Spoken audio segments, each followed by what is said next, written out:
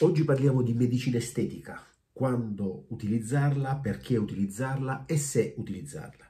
Allora, facciamo un ragionamento molto eh, onesto, come sempre, e cerchiamo di capire quali sono i vantaggi e quali sono invece le inutili, eh, diciamo, accortezze o gli inutili accorgimenti che prendono le persone che decidono di fare degli interventi di chirurgia estetica. Ovviamente io non parlo degli interventi di chirurgia estetica in generale.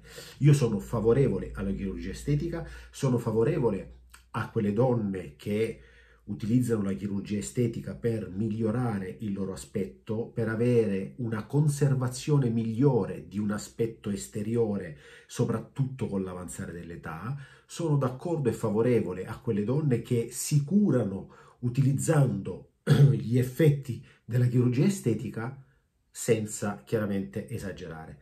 Oggi, siccome mi è stato chiesto più volte, parlo della chirurgia estetica intesa come miglioramento di pancia, addome, glutei, eh, fatta in maniera dissennata. Cosa vuol dire in maniera dissennata?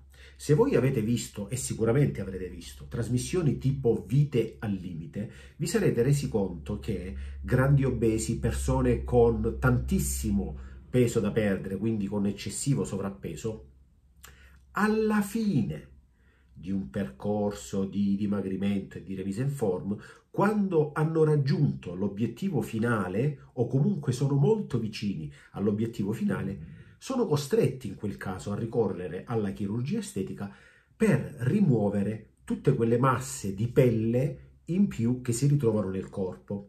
Quindi è a quel punto un intervento funzionale e non soltanto estetico, evidentemente.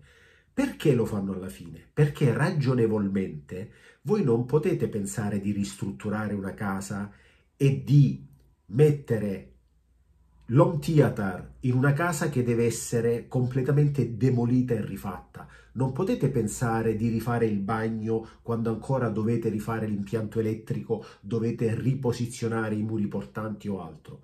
Allora il problema qual è? È che molto spesso la gente ricorre alla chirurgia estetica come la risoluzione, come la scorciatoia per avere delle gambe più magre, per avere un gluteo più tonico, per non avere la pancia, quando invece tutto il resto è completamente da rifare.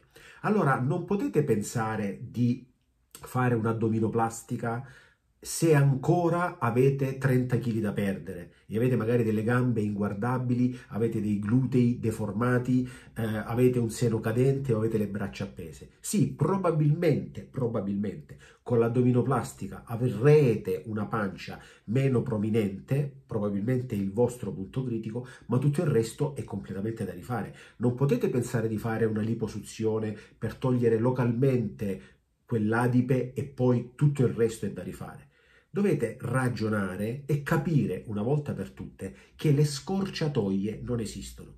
Va benissimo la chirurgia estetica, ma alla fine di un percorso, quando voi avete fatto tutto il possibile in maniera naturale, quindi cambiando il vostro stile di vita, cambiando il vostro regime alimentare, facendo attività fisica, allora alla fine ho fatto tutto, manca quel pezzo. Vediamo se con la chirurgia estetica posso migliorarlo perché non è mai risolutiva. È chiaro che non sto parlando di una rinoplastica, non sto parlando di una mastoplastica additiva dove le tette te le sei giocate e quindi è il caso di rifartele perché magari hai il cruccio di avere le tette svuotate o di non averle proprio. Sto parlando però di scorciatoie che voi spesso ricercate pensando di risolvere. Io ho visto delle fotografie di clienti massacrate perché magari avevano un vuoto dove avevano fatto la liposuzione e poi magari sono ingrassate ulteriormente e quindi tutto intorno è ancora più accentuato quel difetto. Quindi fatelo, rivolgetevi a professionisti seri, ma solo alla fine.